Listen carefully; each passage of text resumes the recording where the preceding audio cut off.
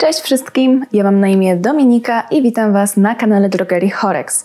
W dzisiejszym filmie mam dla Was ABC porowatości włosów. Dowiecie się z tego filmu, czym jest porowatość, jakie są typy porowatości i jakich używać kosmetyków. Także jeśli ten temat Was interesuje, zapraszam Was do oglądania dalej. Zacznijmy może od krótkiej definicji porowatości włosów. Porowatość włosa jest to nic innego jak stopień rozchylenia łusek włosa właśnie. Dlaczego tak ważne jest, aby poznać swoją porowatość włosów? Dlatego, że właśnie pod tę porowatość dobieramy swoją pielęgnację. Dlatego jeśli używacie sprawdzonych przez kogoś kosmetyków albo bardzo drogiej pielęgnacji i niekoniecznie u Was działa, bardzo możliwe, że jest po prostu niedobrana pod Wasz typ porowatości włosa. Mam nadzieję, że z tego wideo dowiecie się, jakich kosmetyków używać i łatwiej Wam będzie określić właśnie typ porowatości Waszych włosów. Wyróżniamy trzy typy porowatości włosów. Włosy nisko, średnio i wysoko porowate. Zaczniemy sobie od włosów niskoporowatych, które charakteryzują się tym, że łuska włosa ściśle przylega do kory. Dzięki temu włosy są odporne na czynniki zewnętrzne i na uszkodzenia zewnętrzne, ale przez to również są odporne na farbowania bądź różnego typu stylizacje. Są to włosy gładkie, zdrowe, lejące się, zazwyczaj są bardzo lśniące, ale to są włosy również, którym brakuje często objętości i bardzo łatwo jest je obciążyć różnymi kosmetykami. Jeśli chodzi o to, jak zadbać o takie włosy, to wystarczy właśnie nie używać nadmiernej ilości kosmetyków, używać odżywek nawilżających, czyli tak zwanych humektantowych oraz raz w tygodniu, myślę, najlepiej potraktować je olejowaniem i do tego zabiegu najlepiej akurat sprawdza się olej kokosowy bądź masło shea. Jeśli chodzi o produkty które przygotowałam do włosów niskoporowatych, są tylko trzy, ponieważ tak jak wspominałam, takich włosów nie warto przeciążać kosmetykami. I pierwszym produktem będzie szampon marki Jantar peelingujący. Jest to produkt, który wygładza i nawilża włosy, dokładnie oczyszcza skórę głowy z martwego naskórka, łuski włosów ulegają zamknięciu, ułatwia rozczesywanie. Kolejny produkt to oczywiście maska, a jak maska to marka Anwen. Tutaj mam kokos i glinka, maska typowo do włosów niskoporowatych i ta maska zapewnia włosom objętość, poprawia ich nawilżenie, wzmacnia włosy, zapewnia większą elastyczność, zmiękcza i nabłyszcza kosmyki. To maska pech, zawiera również proteiny, emolienty i humektanty. Ostatni produkt to produkt typowo do zwiększania objętości właśnie, a takie produkty przydają się osobom posiadającym włosy z niską porowatością i jest to spray marki Tigi Catwalk i ze strony Horex możemy dowiedzieć się, że jest to spray zwiększający objętość włosów. Lekka formuła nie obciąża i nie pozostawia na nich osadu, unosi włosy u nasady, dodaje im efektownej i naturalnej objętości. Dzięki aktywnym składnikom wyciąg z lawendy, jaśminu i fiołka dogłębnie odżywia i wzmacnia włosy, zapewnia delikatne utrwalenie. Kolejny typ włosów to włosy średnio porowate i tutaj charakteryzują one się tym, że łuski włosów lekko odstają od kory. Jakie są cechy charakterystyczne tych włosów?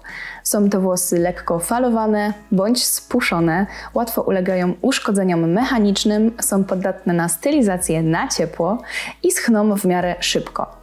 Jak dbać o takie włosy? Najlepiej stosować pielęgnację pech, czyli proteinowo-emolientowo-humektantową. Warto tutaj też zadbać o końcówki takich włosów, ponieważ one są najbardziej narażone na uszkodzenia i olejować raz bądź dwa razy w tygodniu, najlepiej olejem awokado bądź arganowym.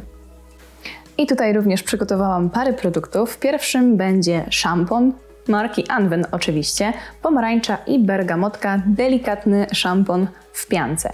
I tutaj ze strony Horex możemy dowiedzieć się, że szampon w piance ma łagodną formułę stworzoną na bazie delikatnych detergentów i naturalnych roślinnych ekstraktów. Nie tylko oczyszcza skórę głowy, ale również działa antyzapalnie, likwidując swędzenie i pieczenie głowy. Szampon w piance Anwen intensywnie nawilża skórę i włosy, sprawiając, że stają się gładkie i elastyczne.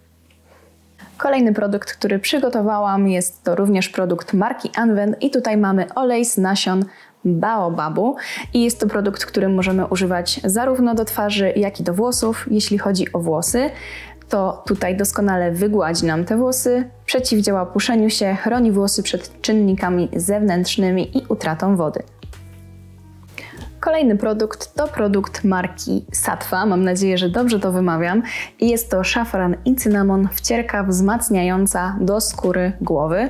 I tutaj możemy się dowiedzieć, że jest to wcierka do włosów, która jest połączeniem aloesu, cynamonu, szafranu, bazylii azjatyckiej i ziół. Doskonale wzmacnia cebulki włosów, pobudza porost, pielęgnuje skórę głowy oraz reguluje wydzielanie się sebum.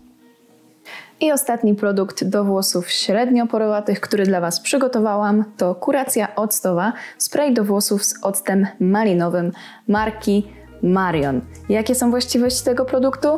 Jest to spray, który nabłyszcza włosy, przywraca zdrowy wygląd, domyka łuski włosów, wygładza, ułatwia rozczesywanie, włosy stają się bardziej poddatne na stylizację, jest do włosów suchych i zniszczonych. Jeśli chodzi o ostatni typ porowatości włosów, to są to oczywiście włosy wysoko porowate, które charakteryzują się tym, że łuska włosa znacznie odstaje od kory. Jeśli chodzi o cechy charakterystyczne, są to włosy zniszczone, rozjaśniane bądź kręcone, łatwo ulegają uszkodzeniom mechanicznym, ciężko je obciążyć, są poddatne na stylizację na ciepło oraz szybko schną.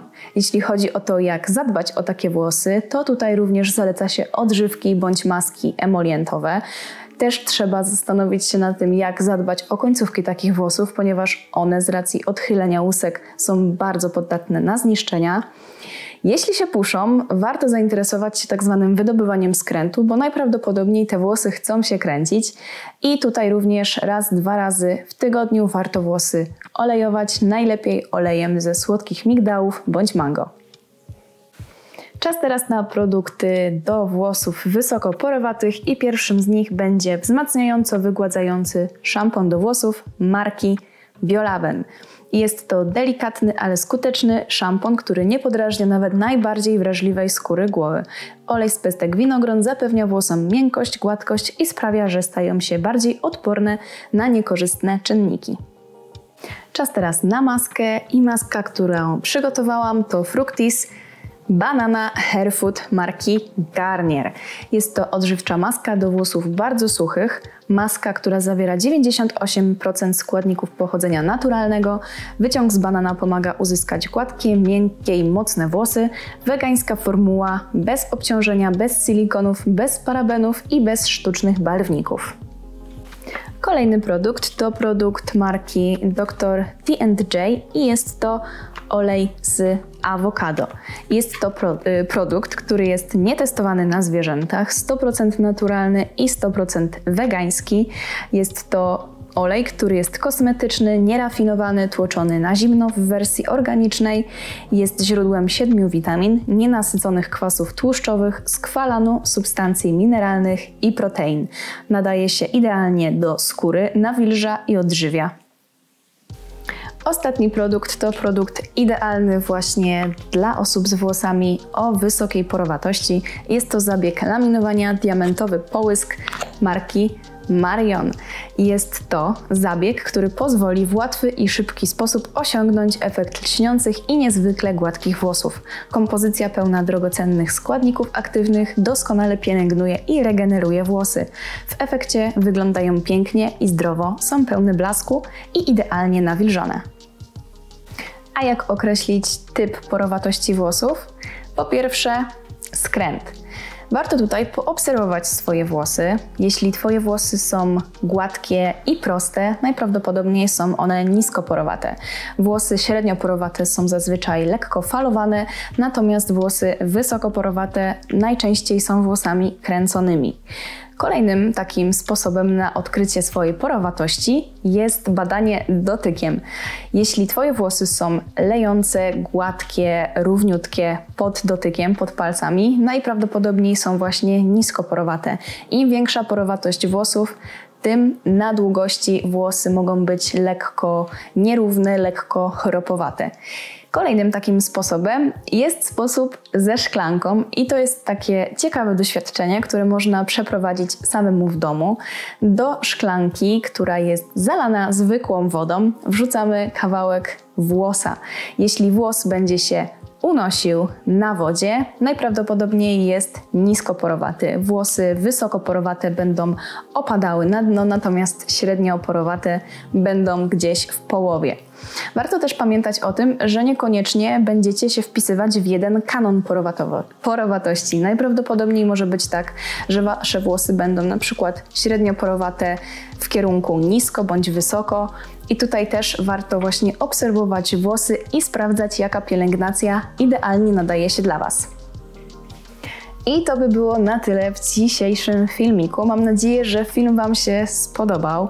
Jestem bardzo ciekawa, czy Wy znacie porowatość swoich włosów. Ja osobiście jestem posiadaczką włosów średnio porowatych.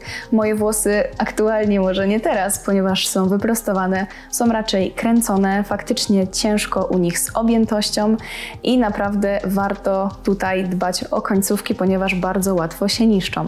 Oczywiście dajcie mi znać, czy jeśli nie znacie znacie typu swoich włosów, to czy macie zamiar przeprowadzić badania, o których wspominałam.